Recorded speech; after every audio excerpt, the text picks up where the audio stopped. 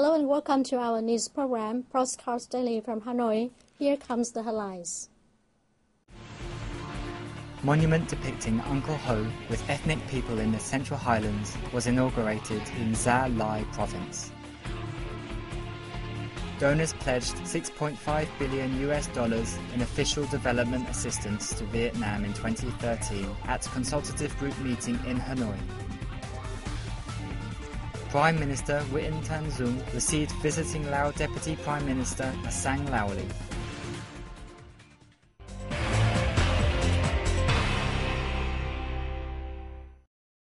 A monument depicting Ho with ethnic people in the central highlands of Tây was inaugurated on December 9th in the Highland province of Gia Lai. Party leader Nguyễn Phú Trọng attended the event. The monument comprises a 10.8 meter high statue of President Ho Chi Minh standing tall, waving his right hand, which is the biggest bronze statue in Vietnam. It is put on a 4.5 meter throne on a 12 hectare square in the center of Pleiku City.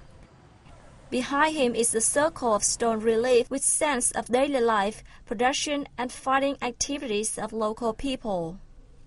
Addressing the inaugural ceremony, Party General Secretary Trọng recalled the world love that President Ho showed to ethnic people in the Central Highlands throughout his lifetime. At the same time, the people see him as their beloved father, who showed them the way to overcome all hardship to gain freedom, independence, and a happy life. The party leader expressed his belief that with their tradition of solidarity and self-reliance, Gia Lai and other Central Highlands provinces will follow the teaching of President Ho and the revolution path he has chosen towards the world of a strong country, rich people, and a democratic, equitable, and civilized society. The same day, a gong festival took place at the square with the performance of more than 2,000 artists, both professional and amateur. The meeting of the Consultative Group for Vietnam took place in Hanoi on December 10th. Donors have pledged almost 6.5 billion US dollars in official development assistance to Vietnam in 2013. Themed Laying the Foundation for Sustainable Growth, the event was co-chaired by Vietnamese Minister of Planning and Investment Bùi Quang Vinh and World Bank Country Director in Vietnam Victoria Kwakwa. Minister Vinh said 2013 is a core year to implement the 2011 to 2015 socio-economic development plan and is forecast to remain a tough year not only for Vietnam but donor countries also. He thanked the donors for their pledge of assistance and affirmed that ODA is still a crucial financial source for poverty reduction efforts in Vietnam. He said the country will continue to work closely with donors to step up the progress of projects and enhance the efficiency of the use of official development assistance. Addressing the event, Prime Minister Dung said Vietnam has seen a positive change in socio-economic performance, with this year's estimated GDP growth of 5.2% and inflation remaining at 7.5%. However, amid global economic turmoil, Vietnam is facing many challenges, including unsteady inflation control and macroeconomic performances, social welfare policy and programs to reduce poverty and create jobs. These challenges require the government to work hard to mobilize domestic and foreign resources to remove obstacles in the short term. On the other hand, the government must also prepare conditions for higher growth next year and create a foundation for sustainable development over the long term, Dung said. The Prime Minister said Vietnam will increase leadership efficiency in combination with reforming administrative procedures, clamping down on corruption and wastefulness, and maintaining political stability, social order, and safety. The meeting has discussed significant issues in the development of Vietnam, including high quality human resource training and the management and use of land. World Bank Country Director Kwakwa said this is the last consultative group meeting for Vietnam. From next year, the meeting will be replaced by a Vietnam Development Partners Forum, co-chaired by the World Bank and the Ministry of Planning and Investment. The new forum marks a new step in the relationship between Vietnam and international donors, in the context that the country has become a middle-income country. Prime Minister Nguyen Tân Dũng on December 10th received Lao Deputy Prime Minister Ah Sang Lee, who is on a working visit to Vietnam, to discuss measures to build a common border of stability and development between the two nations. At the meeting, Dũng congratulated Laos for its successful organization of the Asia-Europe meeting and its official membership of the World Trade Organization. Dũng also praised the efforts and important contributions made by the two sides' relevant agencies to build a common border of stability and development.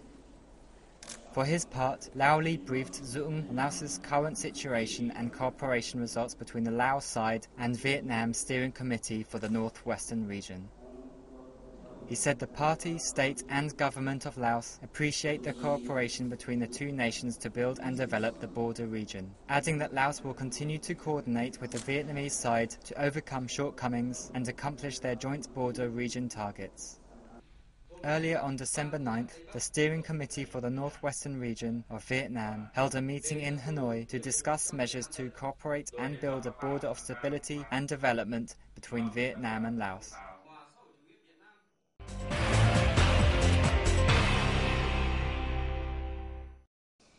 The third is the National Conference on Conservation Agriculture in Southeast Asia opened in December 10th in Hanoi.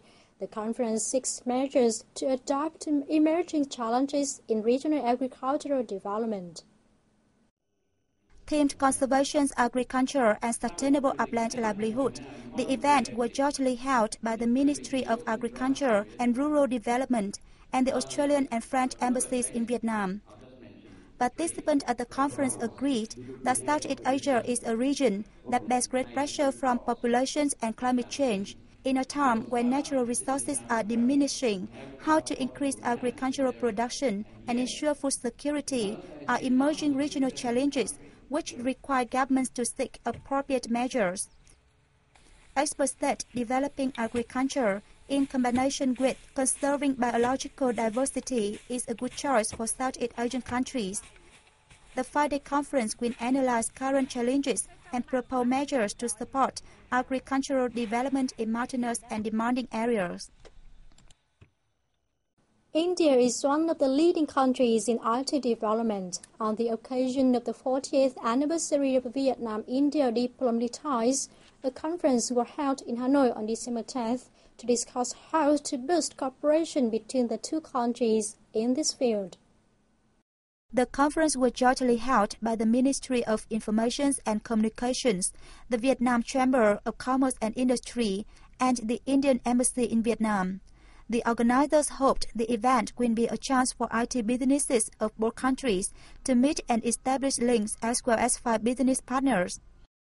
Over the past years, Vietnam and India have implemented several cooperative projects in the field. Just recently, India has helped set up a human resources center with an investment of 2 million USD at the Hanoi Department of Information and Communications. In the future, India has a plan to assist Vietnam in establishing a supercomputer center at the Hanoi University of Technology. The National Civil Aviation Committee on December 9th staged the national exercise stimulating an illegal intrusions into civil aviation activities at Liên Airport in Đức Trọng District, Lâm Đồng Province. Deputy Prime Minister Hoàng Trung Hải said the exercise aimed to enhance coordination among forces and units involved in civil aviation safety, saying that good preparedness will help mitigate the loss of lives and damage to property during any incidents. The event involved more than 1,000 people from the Special Task Police Force, from the Ministry of Public Security, the Air and Defense Force, Military Zone 7, and relevant local forces. The drill simulated actions responding to public disturbance and riots, attacking and arresting terrorists, rescuing hostages from the terminal, aircraft, and the command tower, detecting bombs, clearing toxic chemicals, and fighting fire. Apart from improving skills in combat command and coordination, the exercise aimed to raise the vigilance of forces to ensure civil aviation safety, improve their rescue capability and operations to cope with terrorism and hijackings. That comes to the end of our program. For now, from me and the rest of the team, we thank you always for being with us, and please tune in the program throughout the week for more updated news.